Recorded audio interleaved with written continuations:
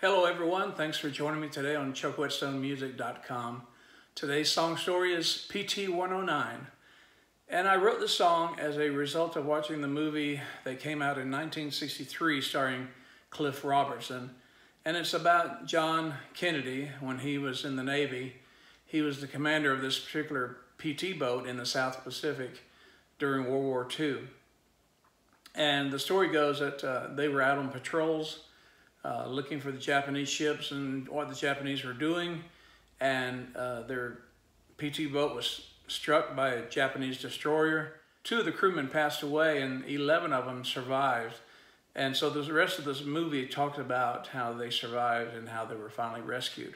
Now, that was a great movie. I loved it. I'd seen it a few times growing up. And then this particular night I was watching it, it was a Saturday night uh, in North Carolina, and it was late, and the family had gone to bed, and I, did, I wanted to see this movie one more time. And the next morning, well, you pay for what you do.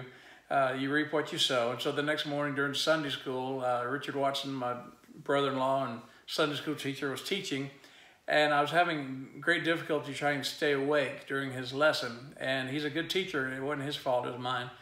And I was tired and, you know, sleepy.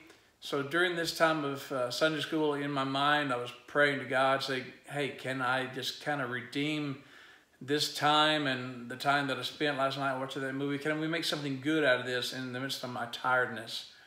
So sometime later, after this point, uh, I wrote down the words to PT 109 and went to a piano, of course, and put the music together and played it. And I like it.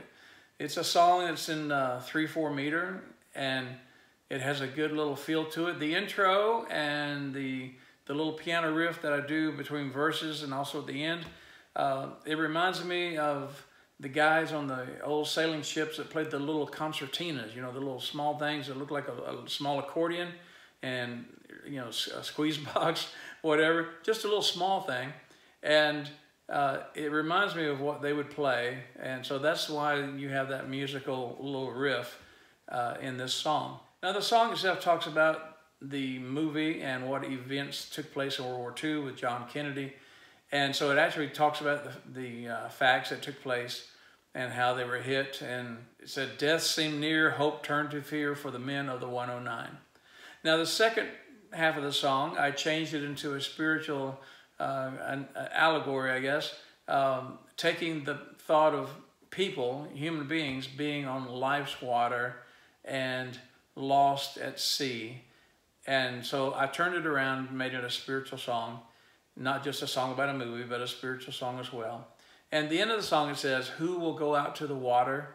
Who will cry out to the Father? Lay down your life for others, not just your sisters and brothers. I hope this song encourages you today and watch the next video for the song, the music video. And until next week, this is Chuck Whetstone. Thanks for watching. This is a song as a result of watching a movie and staying up way too late on a Saturday night. Bye-bye.